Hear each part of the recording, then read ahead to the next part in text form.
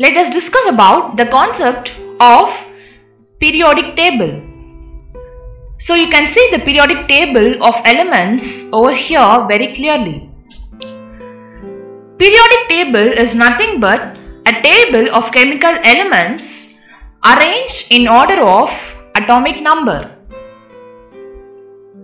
You can see here hydrogen has an atomic number of 1, lithium has an atomic number of 3, Na which is nothing but sodium has an atomic number of 11, potassium having an atomic number of 19. So it goes on for everyone.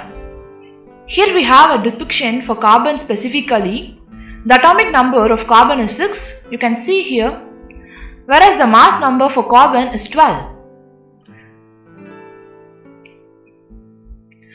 So if you see here, these kind of chemical elements are arranged in terms of row specification so that the elements with similar atomic structure appear in the vertical columns.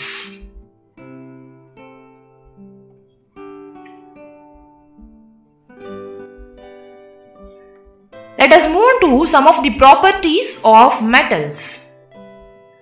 Metals are generally shiny, malleable and hard. Metals are also considered to be the good conductors of electricity. Some of the common and well-known examples for metals are gold, you can see here, silver, iron, uranium and zinc. So these are considered to be some of the examples of metals.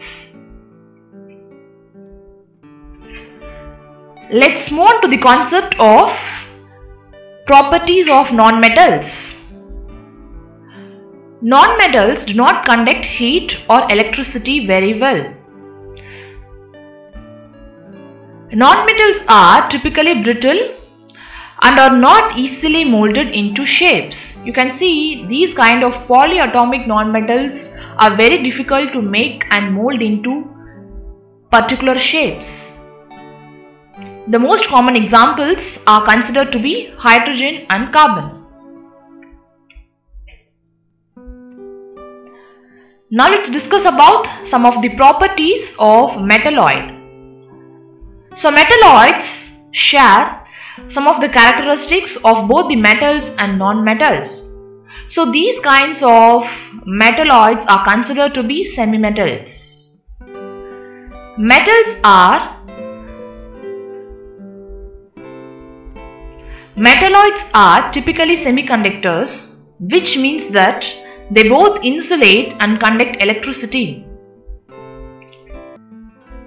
This semiconducting property makes the metalloids very useful as a computer chip material.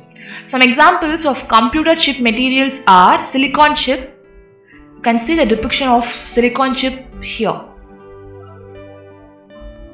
Here in terms of periodic classification, we have the classification of metalloids along with the comparison of metals and non-metals.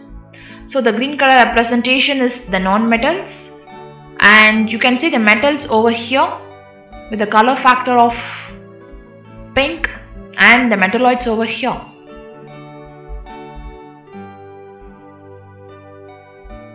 Now let's move on to the concept of analyzing the physical properties of metals with non-metals. The first and foremost is metals are solids except mercury. Non-metals may be solids, liquids or gases. Metals are hard except sodium and potassium.